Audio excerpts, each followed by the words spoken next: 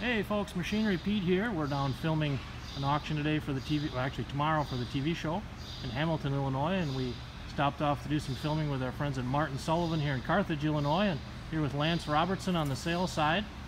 And uh, Lance, thank you for helping us with the TV show. Your interview was awesome. Thanks for being here. The TV is kind of it's it's painless, isn't it? yes, it was, it was better than I expected.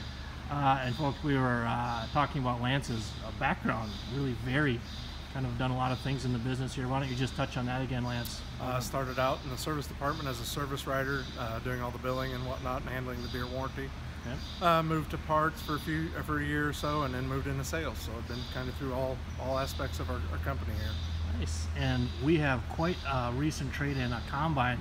Tell folks about behind you, Lance. Why don't you uh, clue us in? Uh, we're fortunate to have a customer that we do an annual roll on. Uh, this machine is a 2017 John Deere S680.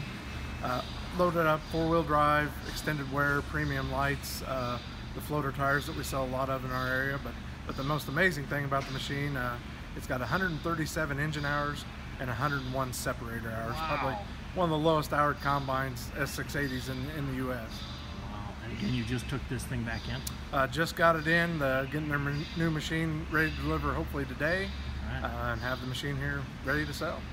and what is your uh, price on this uh, 17 model S680? We're asking uh, 389.9 for this machine. Okay. So basically, one I mean, a one-year-old like new combine. Here's your chance, folks. Yeah, one year old. Uh, in fact, I think this machine this this year, the customer that had it uh, had all soybeans, so I don't know that this machine's even had corn through the machine. Really? Well, tell us a little bit about the, the customer you took it on trade from. A long-time customer. A long time customer uh, that uh, our store manager owner Bill Sullivan has done business with for years. Right. I inherited when I inherited the account when I Sure. came into sales. Uh, Jansen Farms is the name of it down in a little town called Golden, Illinois, and uh, big cattle cattleman in that area. Just a great, great farm. Uh, great, great uh, environment for a machine to come out of.